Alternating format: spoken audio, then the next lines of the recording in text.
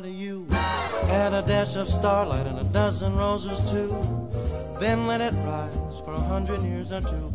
And that's a recipe for making love. It doesn't need sugar, cause it's already sweet. It doesn't need an oven, cause it's got a lot of heat. Just add a dash of kisses to make it all complete. And that's the recipe for making love. And if you've made it right, you'll know it. It's not like anything you've made before. And if you've made it wrong, you'll know it. Cause it won't keep you coming back for more.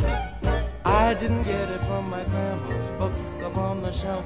I didn't get it from a magical and culinary elf. No, a little birdie told me that you can't make it by yourself.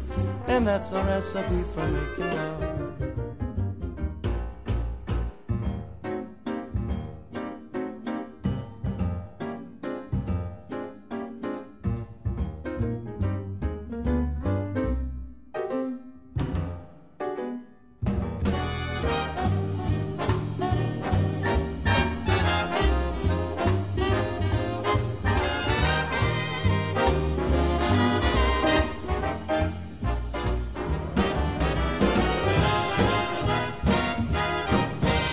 Not like anything you've made before.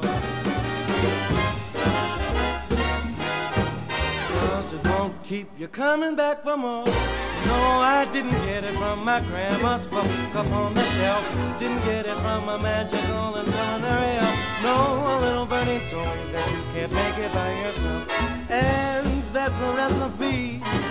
Girl, that's the recipe of making love to you.